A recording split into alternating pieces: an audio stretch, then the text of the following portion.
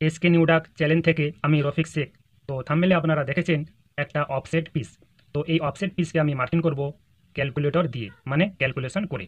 তো আসুন, দেখে নেওয়া যাক। তার আগে একটা কথা, ভিডিওটা পুরো দেখবেন, আর কোন ক্যালকুলেটর দিয়ে আমি এই মার্কিংটা করব, সেই ক্যালকুলেটরটাও আপনাদের দেখিয়ে দেবো, এবং ক্যালকুলেশন কেমনভাবে করব, সেটাও আপনাদের দেখিয়ে দেবো, যাতে অসুবিধা না হয়। তো আসুন সাইডে একটু দেখে নেওয়া যাক। পঞ্চাশ বাই আশি, পঞ্চাশ আশি। সত্তর বাই তিরিশ, সত্তর বাই তিরিশ ওকে আর লম্বা আছে আপনার একশো চল্লিশ। এবার প্রথম আমরা কি দেখব? এই যে বিএফ তো বিএফ মানে বটম ফ্ল্যাট শর্টকাটে তো এর বাংলার মানে কী হবে? আমরা তো সকলেই জানি, নিচে সমান। তাহলে নিচে যখন সমান বলে দিয়েছে, তো আমি এই পিসটা যতটা লম্বা আছে একশো চল্লিশ, তো একশো চল্লিশের এই পিসটা প্রথমে বার করে নেব মানে মার্কিং করে নেব, তারপরে সব ক্যালকুলেশন হয়ে যাবে মার্কিং হয়ে যাবে। আমি এসব কোন এইগুলো আমি দেখব না ডাইরেক্ট এই লেনগুলো মারলে। সব অটোমেটিকলি এই সব ভিড়ে যাবে। তো সেই মার্কিংটা আজকে এখানে করব। ঠিক আছে? তো লম্বা কত আছে? একশো চল্লিশ। তো এখান থেকে একশো চল্লিশ মারলাম, তারপর এখান থেকে একশো চল্লিশ মেরে দিলাম। মেরে এটা লাইন টেনে দিলাম। আর সোজা বলেছে কতটা? আপনি আপনার ইচ্ছা মতো সোজা রাখতে পারেন। আমি তিরিশ, সোজা সোজা রাখছি, এই তিরিশ মারলাম। ওকে আর এটাও আমি তিরিশ মেরে দিচ্ছি। ঠিক আছে? আমার স্কেল তিরিশ আছে, তাই আমি স্কেল তিরিশ মেরে দিলাম। ওকে এই মেরে দিলাম। মেরে দেওয়ার পর এবার কি করব? পঞ্চাশ এমএম এখানে নিচ্ছি। এই পঞ্চাশ এমএম নিলাম। ওকে এদিকেও মেরে নিন পঞ্চাশ এমএম আর এদিকটা আছে কত আপনার? চল্লিশ পেফার। তো চল্লিশ পেফার মারছি অফসেট আর এখান থেকে এই সত্তরটা মেরে দিচ্ছি। এই সত্তর মেরে দিলাম। তো এই মার্কিংটা এখানে হয়ে গেল। এই টেনে দিলেই হয়ে যাবে ওকে এখান থেকে এখানে এই টেনে দিলাম। আর এটা তো এখানে মেরে দিয়েছি। এটা রাইট অ্যাঙ্গেল থাকলে রাইট অ্যাঙ্গেলও মারতে পারেন বা আমি যেভাবে মারলাম সেভাবে মারতে পারেন। তো এবার আমি রাইট অ্যাঙ্গেল মেরে দিচ্ছি। তো এই রাইট অ্যাঙ্গেল এখান থেকে ধরে এটা মেরে দিলাম। ওকে বা এখান থেকে আমি ধরে এটা রাইট অ্যাঙ্গেল আমি মেরে দিলাম। তো এই পিসটা হয়ে গেল, এটা সত্তর। ওকে চল্লিশ টেপার আর এটা পঞ্চাশ। ওকে তো এটা পঞ্চাশ টেপার, এখানে লেখা আছে পঞ্চাশ টেপার। এটা আছে চল্লিশ টেপার, এখান থেকে এটা চল্লিশ টেপার, তো চল্লিশ টেপারও লেখা আছে। আর এখান থেকে এটা ষাট, এই ষাট লেখা আছে। এই পিসটা মার্কিং হয়ে গেছে।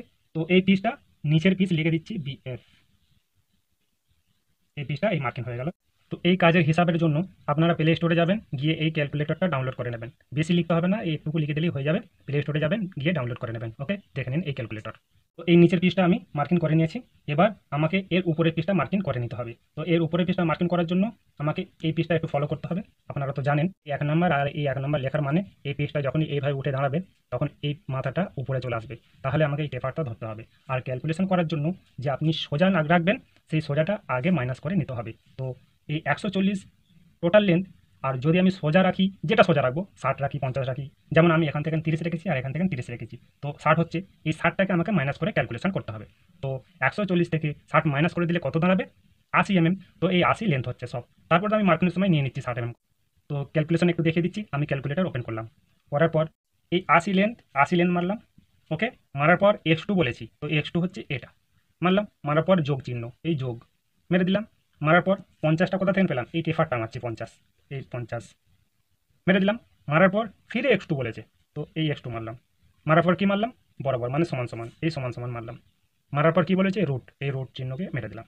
মারার পর কত আসছে? চুরানব্বই পয়েন্ট তেত্রিশ। তো এখানে চুরানব্বই পয়েন্ট তেত্রিশ লেখা আছে। এই তেত্রিশটা আপনি হাফ এম নিতে পারেন, কোনো অসুবিধা নেই। তো এই পিসটা আমি মার্কিং এখানে করব ওকে তো প্রথম যে সোজা আছে তিরিশ এম এই সোজাটা তো মেরে নিতে হবে, মেরে নিলাম ওকে তো এই সোজা থেকে আমি এখান থেকে কি মারছি? চুরানব্বই পয়েন্ট তেত্রিশ চুরানব্বই পয়েন্ট তেত্রিশ মারলাম।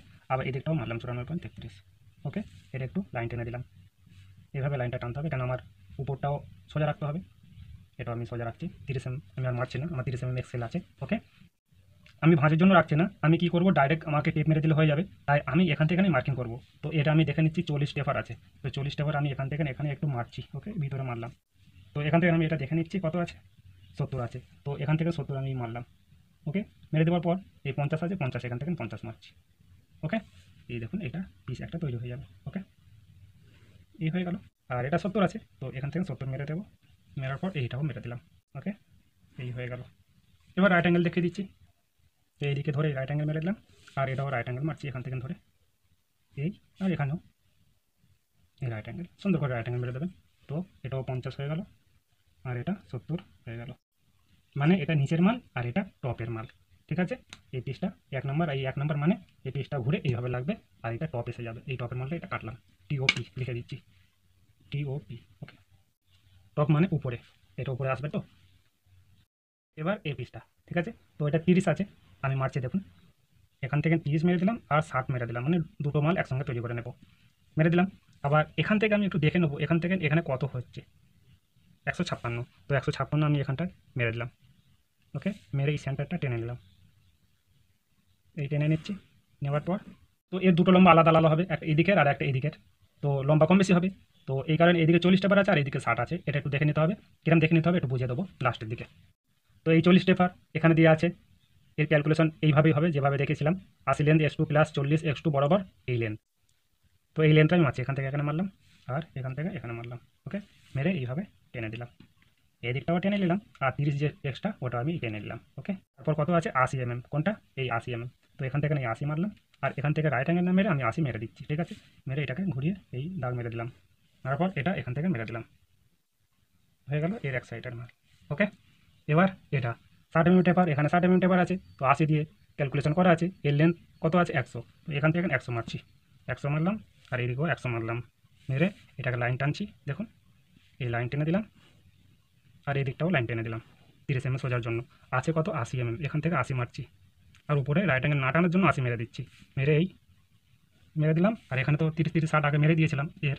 তো এখান থেকে ধরে এই মেরে দিলাম। ঠিক আছে? এখানে রাইট অ্যাঙ্গেল মেরে নিতে পারেন, কোনো অসুবিধা নেই। আমার তিরিশ এমএম স্কেল আছে, তাই মেরে দিলাম। তিরিশ এমএম স্কেল এখান থেকে এখানে।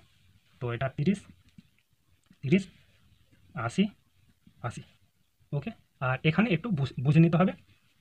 এখানে চল্লিশ টেপার আর সত্তর মাল তো চল্লিশ আর সত্তর কত? একশো দশ। একশো দশ থেকে যদি এই সোজা করে পঞ্চাশ বাদ যায়, তাহলে কত এখানে টেপার দাঁড়াবে? এটা বার করে নিতে হবে। ষাট এম টেপার দাঁড়াবে। এটা একটু বার করে নিলেই ব্যাস, আর আপনার কোনো অসুবিধা নেই। ওকে? আমি কেটে বানাচ্ছি মালটা।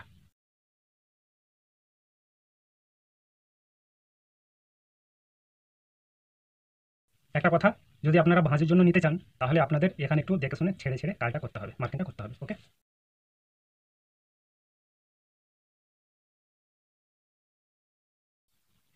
দেখুন এই, এটা নিচের মাল, দেখুন এই পিসটা কাটা হয়েছে, এইভাবে ঠিক মিলে যাবে সব ওকে দেখতে পাচ্ছেন? আর এটা টপ বলেছি টপও মিলবে এটা, দেখুন ওকে এটা এদিকে মিলবে, আর এটা এদিকে, এই দেখুন।